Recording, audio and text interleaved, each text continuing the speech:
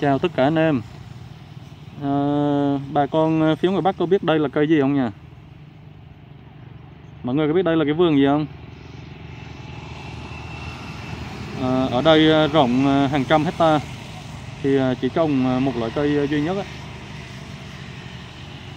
Thì tôi sẽ đến cận cảnh cho bà con xem nha Đây Đấy Ô lạnh giữa cái cái rừng ờ, này nó thơm ghê. Ồ hoa này.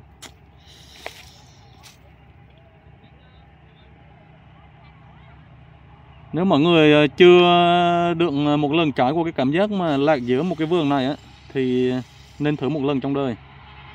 Bạc ngàn là đấy mọi người thấy không? Đấy, ngút ngang tầm mắt luôn cái cây này nó hơi cao cho nên là nhiều khi đứng ở đây không không không không thấy rõ. Tôi đứng lên cao thử nha. Đấy. Đấy mọi người thấy không? Giống như là những bông tuyết ở ngoài Sapa đấy. Thì đây là một vườn à, cà phê. Cái này là cây cà phê nhé mọi người. Đấy đây có rất nhiều bầy ong đang chăm chỉ đi lấy à, mật hoa này. đấy, đấy những con ong đi đi lấy mật hoa đấy, đấy cho nên là ờ, cái mật ờ, ong của cái mùa hoa cà phê nó cũng nó cũng rất là thơm ngon. Mật ong nuôi thì vẫn là mật ong ờ, thật thôi. Nó không phải mật ong giả. Đây, tôi dẫn mọi người dạo bước vào bên trong vườn nha. Đấy. cà phê thì người ta trồng thành từng hàng. Vừa rồi thì trước tết là cái mùa thu hoạch cà phê thì hiện tại là giờ là đang là cái mùa cà phê nó ra hoa. Thì uh, những cái vỏ à, xay sát à, cái trái cà phê đây người ta sẽ lại đổ xuống cái gốc cây lại để bón lại cho cây. Đấy. rất là đẹp. Đẹp và cực kỳ thơm nữa. Đây một con đường chạy ngút ngang à. Đấy. rất là đẹp.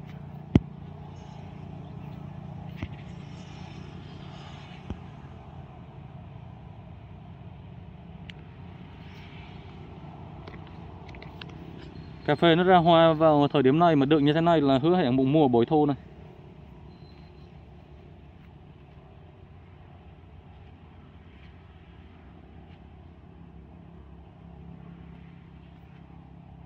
Chạy xuống dưới kia rồi còn còn xuống bên dưới nữa. Rất là nhiều cây cà phê. Tôi ờ, đi ờ, tôi đang trên chân đi, đường đi nhưng mà thấy một cái vườn đẹp như thế này, hương thơm ngào ngạt cho nên là tôi cũng phải ờ, ghé vào một tí.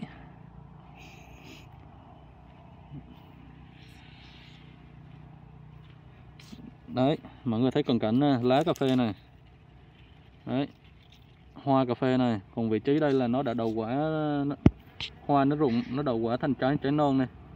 Thì sau này nó lớn lên là người ta tuốt, lấy tay người ta tuốt cả lá, cả cả cái lá da và cả cái quả chín à quá đẹp còn gì nữa.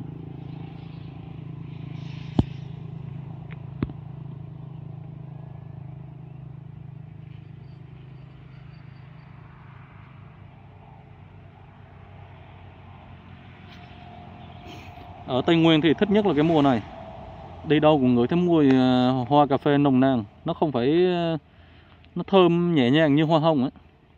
Nhưng mà nó ngọt, cái vị ờ, cái mùi thơm nó rất là ngọt chứ không phải như hoa sữa ngoài Bắc đâu. À, nhìn xa giống như là à, cánh đồng tuyết. Giống như là ở giống như là ở Sapa mà tuyết nó rơi nó nó nó, nó, nó bám lên thân cây ấy nha.